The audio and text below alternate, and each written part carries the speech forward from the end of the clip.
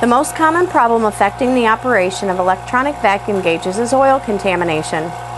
Oil and other contaminants in the sensor may affect the ability to detect changes in a vacuum level. All electronic vacuum gauges are subject to oil contamination. In this video, we will show you how to best avoid oil contamination. The most common source of oil contamination is from the vacuum pump.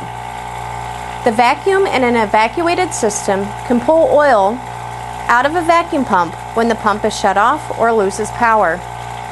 For this reason, it is best to locate the sensor away from the vacuum pump at the system port. If the sensor must be located at the pump, always isolate the pump from the vacuum gauge with a valve before turning the pump off. Oil is also present in all AC&R systems and can move through the piping or hoses during evacuation or pressurization of a system. To minimize the chance of this oil getting into the sensor, Inspect fittings for signs of oil before connecting the vacuum gauge. Also, try keeping the sensor vertical when possible. We recommend connecting the vacuum gauge to the side port of a Yellow Jacket 18975 vacuum charge valve. The 18975 tool allows you to remove the access fitting valve core for faster evacuation.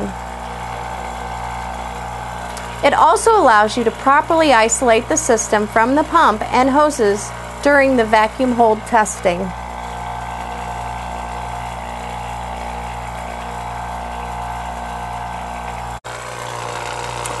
Always pull the system below 28 inches of mercury before connecting the electronic vacuum gauge to the side port of the valve.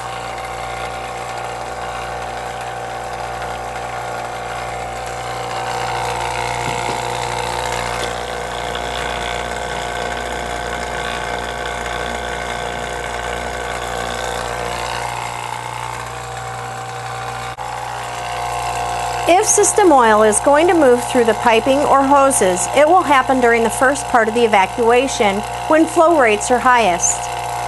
Similarly, when breaking the vacuum with dry nitrogen or refrigerant,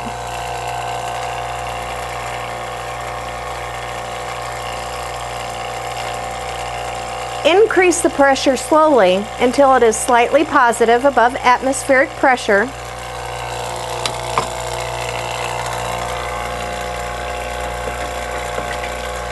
and remove the vacuum gauge sensor before continuing. Thank you for watching this Yellow Jacket technical tip video. If there are any other tech tip videos you would like to see, post them on the ideas page at www.yellowjacketuniversity.com.